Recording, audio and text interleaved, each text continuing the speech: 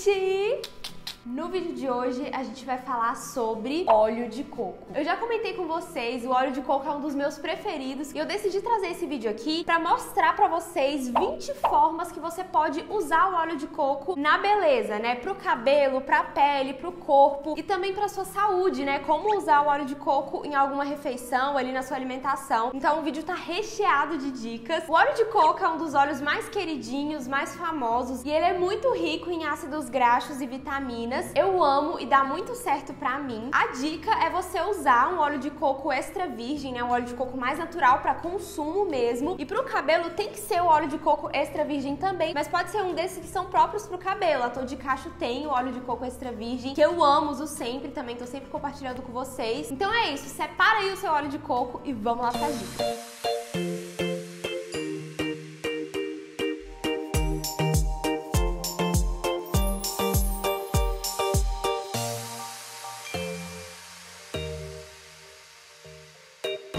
Dica para demaquilar. Muita gente não sabe, mas esses óleos essenciais, óleos extra virgem são muito bons para demaquilar. Alguns demaquilantes até têm óleos, então ele ajuda a tirar principalmente maquiagens à prova d'água, que são mais difíceis ali de remover. Com o óleo você consegue remover facilmente e é legal porque já dá aquela hidratada ali, aquela nutrida na pele. Se você tem a pele muito oleosa, você pode usar só para remover algumas coisas mais específicas, né? Ali na região dos olhos, quando você tiver com uma máscara à prova d'água, uma cola de cílios à prova d'água, água ou até mesmo nos lábios, né? Se você tiver com um batom que tá difícil de sair com o demaquilante normal, você usa um óleo de coco e aí você não precisa usar no rosto inteiro caso a sua pele for muito oleosa, tá bom? Segunda dica é usar o óleo de coco como se fosse um primer para maquiagem. Essa dica é ainda melhor para quem tem a pele mais seca ou se quando você estiver assistindo esse vídeo aí, tiver frio onde você mora, porque, gente, é o que eu sempre falo para vocês, se a gente não prepara a nossa pele para receber a maquiagem, se você não hidrata, se você não nutre e você já vai ali direto com a base, a base começa a craquelar, ficar com um efeito meio estranho, porque a sua pele vai começar a absorver a base, porque a sua pele tá precisando de algo para tratar. Você pode pegar algum conta-gotas ou colocar ele um recipiente menor para ficar mais fácil de você usar. Então você pode usar o óleo de coco como isso, né? Como um serum, como um primer, um hidratante aí antes da maquiagem. A terceira dica é para limpar cílios postiços. Gente, eu descobri isso recentemente e foi a melhor coisa, porque antes eu usava só água e sabão para lavar os meus cílios postiços, mas eu sentia que eles ficavam meio ressecados e muitas vezes nem limpava direito o restante de cola que tinha ali, de máscara, enfim. Então, quando eu comecei a usar o óleo para isso, foi saindo facilmente todos os resquícios de maquiagem que tinham ali, sem falar que deixa os cílios mais brilhosos e não deixa eles com aquele aspecto ressecado, sabe? Então, pega a dica. E se você tiver com dó de usar o seu óleo de coco só para lavar os cílios postiços, você pode usar qualquer algum outro óleo, pode ser até um óleo corporal também, que funciona. 4. Para limpar pincéis de maquiagem principalmente aqueles pincéis de pele, de pó, que já estão mais ressecadinhos ali. É legal você usar o óleo de coco para tirar o excesso de maquiagem. Depois você pode até vir com um shampoo levinho ou um sabonete mais levinho para terminar de limpar, mas o óleo de coco também é ótimo para isso. É bom para limpar aqueles pincéis menores também, que geralmente está cheio de delineador em gel ali, sabe? Já tá com aquele aspecto mais durinho, ou um pincel pequenininho que você usa para passar batom também funciona. A quinta dica é para fazer uma equitação meditação noturna, né? A nossa queridinha meditação noturna. Vocês sabem que esse é um dos tratamentos que eu mais amo, porque eu acho muito prático, né? Às vezes você tá ali na correria do dia a dia, mas você separa ali um dia à noite, aplica o óleo de coco e vai dormir. No dia seguinte você lava, o seu cabelo tá super nutrido, brilhoso, macio. E uma dica dentro dessa dica é você talvez misturar um produto que seja próprio para uma meditação noturna com o óleo de coco, até mesmo para potencializar, né, o efeito do óleo de coco e também para ficar mais fácil ele de usar, porque eu confesso que eu tenho um pouco de dificuldade de pegar o óleo direto e já ir aplicando no cabelo. Acho que às vezes faz um pouco de bagunça, de sujeira ali. Eu amo esse leite de coco da Maria Natureza, então fica a dica dele aí pra vocês também. A sexta dica é você aplicar só um pouquinho antes de dormir. Eu já comentei essa dica com vocês e não é uma umectação noturna. É só você pegar uma pequena quantidade e aplicar em todo o cabelo como se fosse um óleo reparador de pontas mesmo. Vai dormir e no dia seguinte você não vai lavar o cabelo, vai ser um day after normal ali e você vai ver que seu cabelo vai vai estar tá muito mais macio, muito mais brilhoso. Eu gosto de fazer isso em viagem, quando meu cabelo já tá mais ressecado, você pegou ar-condicionado, uma chuva, alguma coisa assim. O óleo ali durante a noite, em pequena quantidade, ajuda a deixar o seu cabelo mais brilhoso, mais macio. Lembrando, isso aqui é um lembrete, um aviso. O óleo, ele costuma dar uma encolhida um pouco no cabelo. É normal se você passar para dormir e sentir que ele amanheceu um pouquinho mais encolhido, mas depois é só você fazer algum truque aí que você costuma fazer. Inclusive, tem um vídeo aqui no canal dando 10 truques para combater o fator encolhimento. Depois você confere lá. A sétima dica é maravilhosa. É para você usar o óleo de coco como um pré-shampoo. Você aplica ali em todo o seu cabelo, uns 15 minutinhos antes de você lavar e pronto, você lava ali e você vai sentir que o shampoo não vai agredir tanto o seu fio, não vai deixar o seu fio tão ressecado. Essa dica é boa se você tá na correria, não tem tempo de fazer uma equitação noturna, não teve tempo de nada. Aí ali antes de lavar, você só aplica um pouquinho e lava. Você vai ver que vai ficar mais macio, mais nutrido. A oitava dica é para potencializar as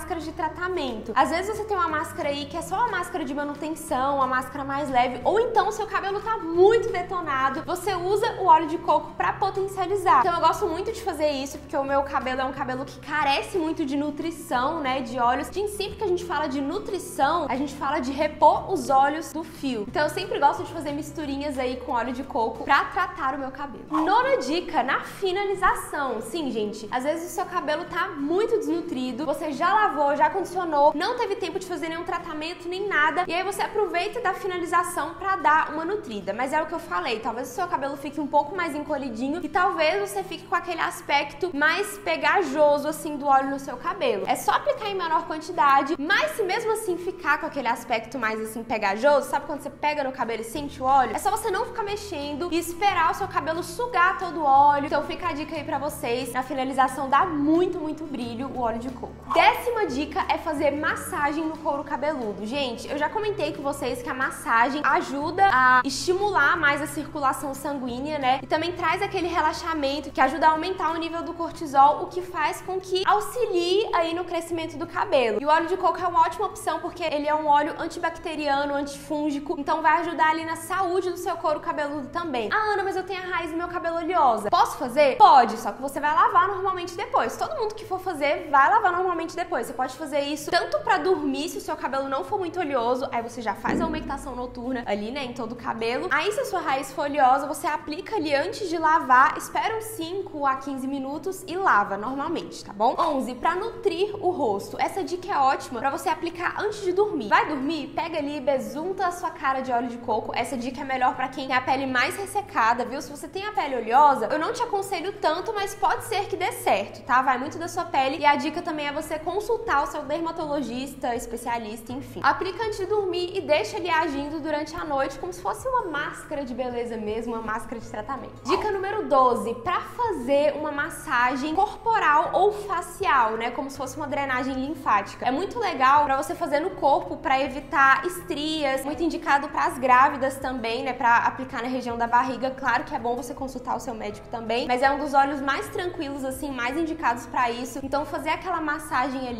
nas regiões que você sente que você tem mais inchaço e no rosto também é muito legal você ir fazendo aquela massagem e dando aquela drenada ali no rosto, principalmente aqui na região da papada, sabe quando o rosto tá muito inchado, às vezes você teve um dia mais cansativo, enfim, você faz a drenagem com óleo de coco, que é maravilhoso também. Você pode pesquisar algum videozinho ou ver alguma profissional que você confia aí para pegar umas dicas. E o óleo de coco é maravilhoso para deixar a pele mais radiante, né? Então isso entra também na parte de aplicar no rosto, né, na pele do rosto para deixar a pele com aquele glow natural. Décima terceira dica, antes e depois da depilação. Eu já dei a dica da gente usar o condicionador para depilar ao invés do sabão, porque o sabão, o sabonete, enfim, resseca um pouco mais, né? ainda mais que você tá vindo ali com a lâmina, a pele já costuma ressecar mais. Então a dica é você usar também o óleo de coco, né? Você pode aplicar ele e depois vir depilando e ou aplicar depois também, né, para dar aquela nutrida ali na pele. É sempre bom, gente, você aplicar algum óleo, algum hidratante depois de depilar para evitar que a sua pele fique irritada, ressecada. Dica número 14, para nutrir a área dos cotovelos, dos joelhos e dos pés. Essas áreas geralmente são as partes do nosso corpo assim que são mais ressecadas. A área dos cotovelos e dos joelhos costuma até ficar um pouco mais escurecida. Aplica nos pés também, gente. Meu pé geralmente é mais ressecado. Eu gosto de aplicar um creme, um óleo, alguma coisa assim. Eu gosto de aplicar isso antes de dormir, porque a pele vai nutrindo ali durante a noite e no dia seguinte está muito mais macia, muito mais sedosa. A dica número 15 é para você aplicar na região região dos olhos. Se você tem a pele mais oleosa e não quer aplicar ali para ir dormir no rosto inteiro, mas vai que você tem olheiras, tem bolsinhas, tá com aquele olhar mais cansado, aplica o óleo de coco só na região dos olhos. Muito cuidado para não enfiar o trem dentro do seu olho também, né? É só que assim na região das olheiras e vai dormir. Olheiras pode ser genético, pode ser cansaço, enfim, pode ter vários motivos, mas muitas vezes também é falta de hidratação. Sabe quando o corretivo tá craquelando aqui assim na região dos olhos? Às vezes é porque você não tá hidratando, não tá nutrindo. Então o óleo de coco também é maravilhoso para isso. A dica número 16 é para fortalecer as unhas e hidratar as cutículas. Gente, sério, essa dica aqui é uma das melhores. Quem me indicou foi a Sara lá do Ateliê Dart, ela que faz as minhas unhas, e ela sempre falava: "Passa óleo de coco porque é muito bom". E eu sempre esquecia, mas aí teve uma época que eu tava usando mais e gente, é surreal. Você aplica assim nas cutículas dos pés, das mãos, para dormir é melhor, né? Porque não vai incomodar. E no dia seguinte, a cutícula amanhece lisinha, massinha, fora que fortalece muito a unha, né? Então às vezes sua unha tá aí quebrando bastante, é porque você não tá nutrindo, daí você fica lá tacando um monte de esmalte, um monte de base, mas às vezes um óleo, óleo de coco vai ajudar bastante. Aí evita aquelas pelinhas, sabe, que ficam puxando assim, é maravilhoso, sério. A dica é você colocar num potinho pequeno e deixar ali do lado da sua cama para você não esquecer. Dica número 17, esfoliante labial e corporal. É só você misturar um pouco de açúcar ali no óleo de coco e esfoliando a sua pele, esfoliar o rosto, pode ser o corpo também, aquelas regiões ali que você sente que tá precisando, no pé. Lábios também é muito bom, mas isso não é muito indicado para quem tem a pele mais sensível. Aí você vai testando e vendo. Pra mim, funciona muito. Pra mim dá certo. E eu tô falando aqui pra vocês nesse vídeo também as coisas que funcionam pra mim. E aí vocês vão vendo o que, que vai dar certo pra vocês. Dica número 18. Essa daqui eu descobri esses dias. Pra saúde e higiene bucal. Gente, o óleo de coco tem o ácido láurico, que tem esse efeito antibacteriano e antifúngico que eu falei com vocês. Então a dica é você bochechar o óleo de coco todos os dias pelas manhãs pra ajudar ali na sua saúde bucal. Dizem que ajuda até a clarear os dentes. Eu não sei se eu boto muito fé nisso não. Mas existem pessoas que testaram, que falaram que funcionou, aí eu já não sei. Aí se você quiser, você testa na sua casa e vê se funciona. E esse é um hábito de beleza milenar, assim, já usado há bastante tempo. E eu não sabia, gente. Vocês acreditam? Pois é. Se você também não sabia, me conta aqui nos comentários. Ah, e se você tá gostando desse vídeo, clica muito aqui no gostei, se inscreve no canal pra acompanhar os próximos vídeos do nosso ano todo dia em abril aqui, tá bom? Dica número 19, no café. Eu tomei por muito tempo o café sem açúcar com óleo de coco. Você pode bater no liquidificador ou com um mixer, que funciona super bem. E é uma dica maravilhosa para quem quer uma alimentação mais saudável. Esse café, gente, com óleo de coco dá muita energia e muita saciedade. Tinha dia que eu tomava esse óleo de coco de manhã e ficava com aquele ânimo, com aquela energia. E eu não sentia tanta fome assim. Então é uma ótima bebida aí para quem quer ter aquele dia assim mais produtivo, sabe?